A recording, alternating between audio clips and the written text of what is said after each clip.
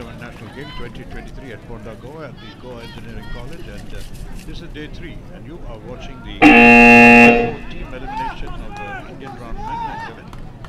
Uh, if you are watching these archers, these archers are shooting with a bamboo bow and uh, there are three archers who are shooting. In our team there are four archers. In the ranking round, the top three archers will be selected and they will be shooting. The fourth archer will be waiting. Every archer shoots three arrows 50 meters away at a target of 122 centimeters uh, with the 10 ring. Uh, if you arrow down to the center, you get a 10. So you are watching the men and women in action. Both archers, this is called a simultaneous shooting. There are two different This is simultaneous shooting and one is alternating shooting. Simultaneous shooting, both the archers are shooting together. And uh, if you can see, the archers are absolutely even and uh, shooting uh, with the bows and the bows, they've fall.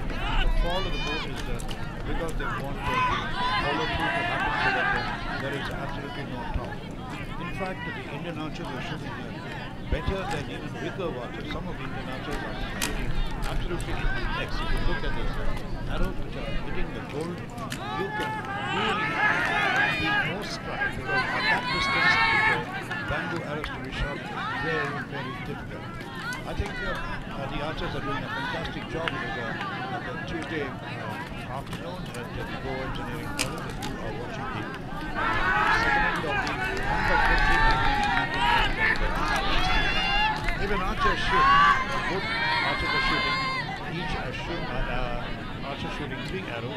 Whoever shoots the highest score gets a set point, that is two points given. If an archer has shot five points, the team will be declared the winner.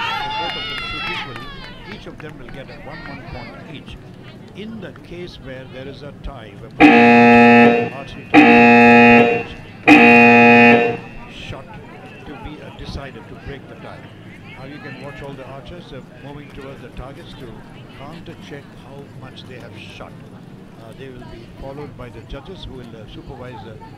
In the, the elimination round, you have two uh, kinds of judges are there. We have the line judge and the target judge. The line judge will be in the line and the target judge will be in the target. The line judge gives a signal for the uh, match to begin and uh, end, and the target judge uh, gives a signal to show who, which team has won in that particular set point. Let me again tell you that the Indian round is done exactly like a, a, a recurve round, and right now you have uh, Assam. Shooting uh, along with to Goa against Goa, Bihar shooting against Maharashtra, Haryana against SSCB and Chhattisgarh against uh, uh, Jharkhand. You are watching the 1 by 4th team elimination of the Indian round men and women teams at the Goa Engineering College right here in Goa. And you are watching the 37th uh, National Games in Goa Get Set Goa 2023. Judenge, Jienge or Jitenge. Indian archers are coming inside. Two sets are already over. So as I told you, whoever wins in one set, they get if both of them score equally, they get one one set point. Whichever team gets five points is declared as the winner in the match. Uh, well, uh, you have Assam pitted against Goa in the men's event, uh, Bihar against Maharashtra, uh, Haryana against SSCB, Chhattisgarh against Jharkhand. The men's event, the women's event, we have Manipur against Goa, Jharkhand uh, pitted against Maharashtra, Gujarat fighting with Uttar Pradesh and Telangana, and Assam sorting it out. Ladies and gentlemen, if you can see the, the kind of enthusiasm behind the team matches always evoke a lot of enthusiasm with the supporters of each team, uh, you know, uh, uh, giving in uh, support from the back. Uh, I think uh, you, are watching some of the top teams in the country, and Indian archery is going places. Uh, The Indian bow was discovered actually by our own uh, Archery Association of India to replace the more expensive uh, recurve bow. The recurve bow costs about three and a half lakhs, and the Indian bow just costs about eight thousand rupees. Uh, Indian arrow costs about 80 rupees, and a recurve bow arrow costs about 4,000 rupees. So the Indian bow has been uh, is a special uh, uh, invention of the Indian archery, and uh, actually the Indian bow is becoming very very popular with several uh, other countries. Uh, uh, acquiring it and having competition with the Indian bow. The Indian bow is as sophisticated as the recurve bow. With uh, stabilizers, long stabilizers, top, stabilizers, plunger button, all made of indigenous material. Uh, what you are watching here is uh, right now the Indian round women's team quarterfinal matches and the Indian round uh, men team quarterfinal matches. And uh, among the women, uh, Manipur is a very, very strong team, but Goa is also doing a good job. Jharkhand, as you know, is a very, very powerful team uh, with a lot of tribals taking up to Indian archery and uh, doing extremely well. Uh, Gujarat is also doing a wonderful job. Now the archers are going again towards the targets to find out uh, how much they've scored in the third uh, end. As I told you, for all that you know, the, with, the third end, the match itself might get over because if one uh, team has not won any points, then obviously the, the team will win. So for all that you know, at, in this end, many teams may be biting the dust and uh, there might be teams which will be winning.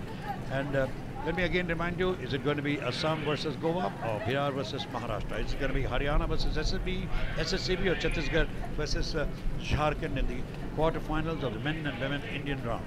And you are watching the archery Indian round events, the quarterfinals and the Indian round at the Goa Engineering College uh, in Goa at the 37 National Games.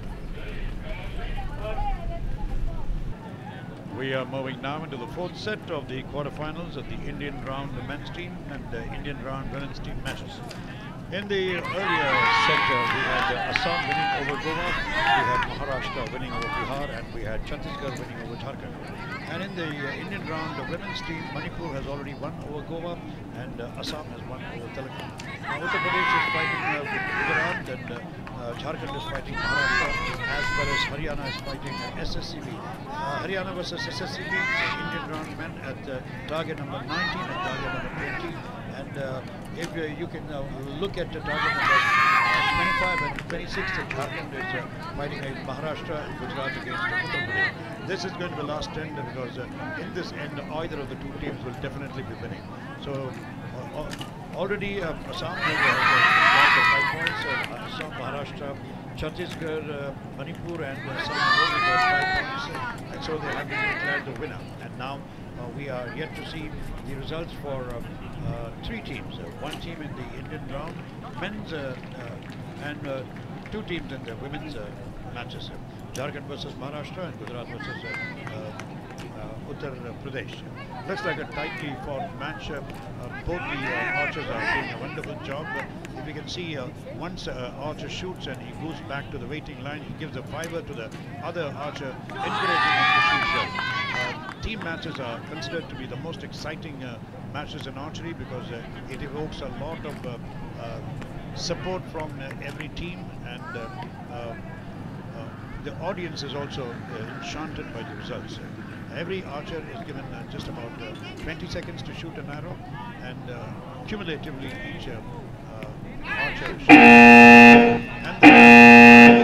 And the is also over, and uh, we will be having the results in a few moments from now.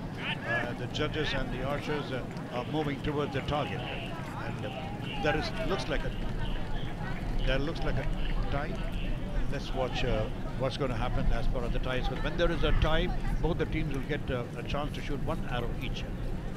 So you can watch uh, uh, the uh, tie in a particular target, and whenever there is a tie, the target face is changed so that a new target face is there, so that there is uh, any error of uh, other holes being uh, considered is eliminated.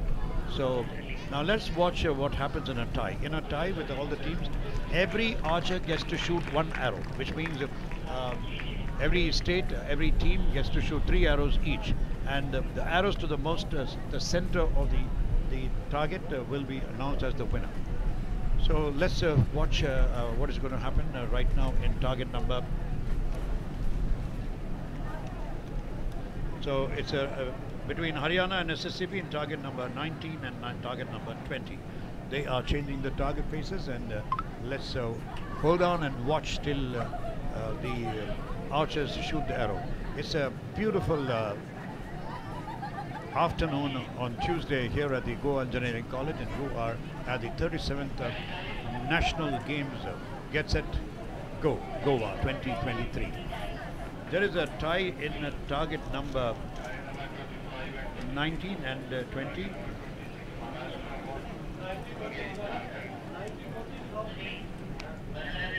Well, uh, now Maharashtra has won in target number 26 uh, against Jharkhand.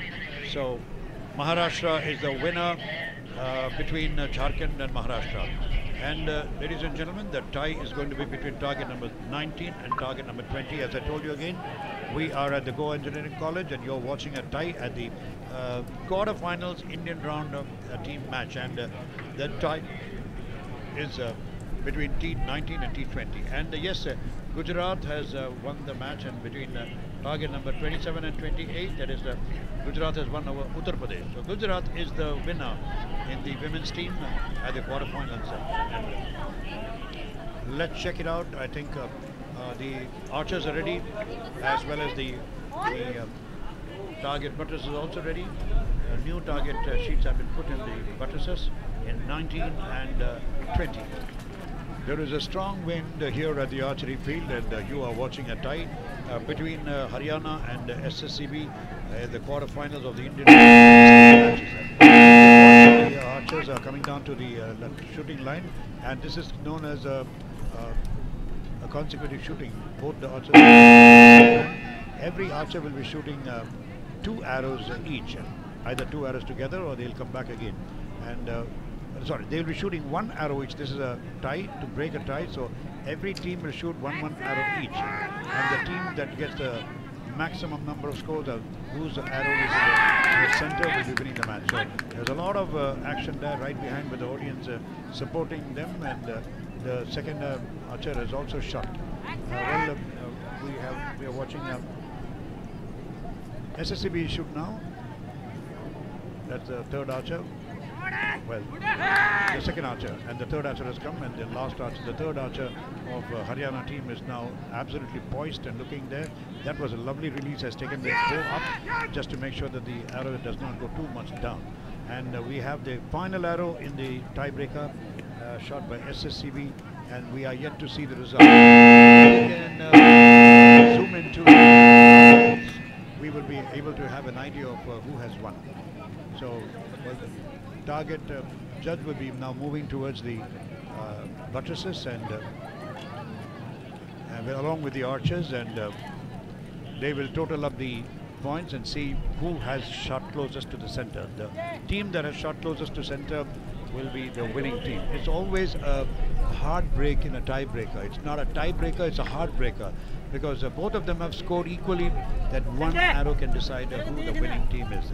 This is all uh, about archery. In archery, you never know which team wins till the last arrow is shot. And in a tiebreaker, the heartbreak is too much because uh, uh, a small little, even a small 1 mm difference can mean uh, winning or losing. And you are watching the quarterfinal matches, uh, the Indian round matches, uh, the team matches at the Goa Engineering College at the 37th International Games, and uh, uh, you have just watched a tiebreaker with uh, Haryana and SSCB shooting one one arrow each. Uh, that is three arrows each, and uh, the target judges are looking at the arrows where they have landed, and uh, they will be giving a signal and telling who, which team has won. So we need to wait till the target judge gives the signal to know which team has won. The archers are cross-checking their totals. They are cross-checking the totals and making sure that somebody has not made a mistake because one little mistake can mean uh, that win or a loss. As you see, the target judge is now looking into the scores and uh, totaling the scores. and uh, by the way, the body language is, uh, I feel, who's the winner? We are asked, we are waiting for them to declare the winner. The SSCB is uh, walking first. Uh, looks like it from the body language. Haryana has won the match. Ladies and gentlemen, from the body language, I could, uh, uh, you know, presume that uh, Haryana has won the match. So Haryana is the winner in this tiebreaker, and now we are moving towards the uh, semi-final matches. In the semi-final matches, uh, in the Indian round women's team, Manipur will be against Goa. Goa, uh, Jharkhand is going to meet Maharashtra. Gujarat will meet Uttar Pradesh, and Telangana will be meeting Assam. And in the Indian round men's event, Assam will be meeting Goa, Bihar will be meeting Maharashtra, Haryana will be meeting SSCB, and Chhattisgarh will be meeting Jharkhand. And uh, right now, uh, the winner is Assam. So Assam is now going to, in the semi-finals, is going to meet uh, Maharashtra and uh, Haryana is going to meet Chhattisgarh. Uh, you are watching the uh, semi-finals and in the Indian round, men. And ladies and gentlemen, let's move to the semi-finals.